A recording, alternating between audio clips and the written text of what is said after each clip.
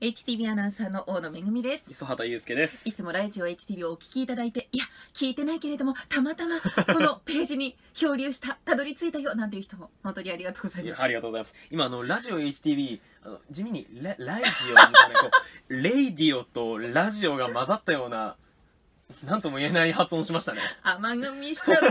ごめんなじゃいました。さいすいません。さて卒業シーズンということで、うんはい。皆さんいろんな思い出あるかと思うんですけれども、磯畑くんってはい。第二ボタンあげたことあるの？実はねあるんですよ。あはい。中学生の時ですね、うん。あのー中学2年生の一つ年下の後輩のうん。女の子から「磯畑先輩ください」って言われたので、はい、その時にあげました。まあ合わせてその時に向こうのあの女の子が、まあ、思いを伝えてくれて、告白されたの、はい、卒業式の日にあらまでどうしたの？まあなんか申し訳ないんですけど、まあ、すいませんごめんなさいっていうふうに謝りまして。思いは受け取れなかったけど、はい。その分こう気持ちのお返しとして第二ボタン。そうですね。でその理由が、うん。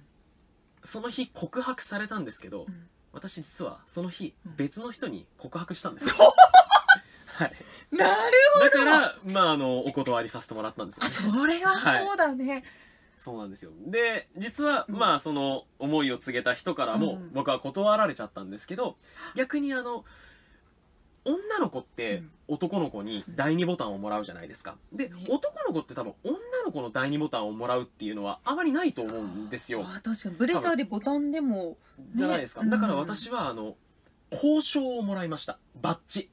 あの中学校の交渉ってあるじゃないですか。あるある。あのバッジを私もらいまして女の子から振られた子に？そうですそうです。今どうしてるの？今あの東京の実家の引き出しに入ってます。今でも大切に取ってあります。えどの引き出しか覚えてるの、はい覚えてます。うわこれ本気だ。だけどその方は、うん。晴れてあ。昨年あ。結婚しました。おめでとう。いやでも嬉しいなと思います。あのまあまあそうだよねでも本当にその人が、うん。まあ、中学生の時ですけど、うん。まあ、初恋っていろいろなねこう時にあこの幼稚園の時のこの子が初恋ですみたいなのがあると思うんですけど私本気で多分好きになったのは、その時だったんですよね。うわー。だからまあ言ってしまえば私の中の初恋の方っていうことですね。だからその中学校の卒業式の日は忘れられないですね。はい第2ボタンのこともありますし。ねえ、ん。ちゃんと取っといてくれてるかな？その後なんか「あいつ」って言って捨てられてないかな？あどうですかね？その行く末は聞きたくないですね確かに怖いんで、ねでも告白できただけ、うん。いいさ。そうですね。そうあの私ね小学校中学校はい。9年間ね、はい。同じ学校に通っていたので、あーエスカレーター制で、はい。はいはいずーっとひろゆきくんっていう子が好きだったの。ひろゆきくん。同じクラスで。はい、頭が良くてうん、スポーツも万能で。はいであのある時あのバレンタインのチョコをあげて10人ぐらいの女の子が一斉にあげたんだけど、はい。お返しでねこう配るでしょ、うんキャンディーとかクッキーとか、私だけ違う大きい豪華なのをもらったの。おおひろゆきくんから。そう。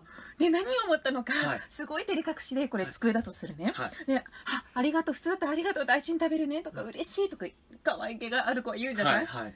あありがとうドンで勉強始めて。あでも内心は本当に嬉しいの、いんですよね。照れ隠しですよね。そうなの。うん。でその年のその卒業式の時にはい。告白しようと思ったんだけど、はい。思ったんだけどできなかった。勇気振り絞れなかった。そう。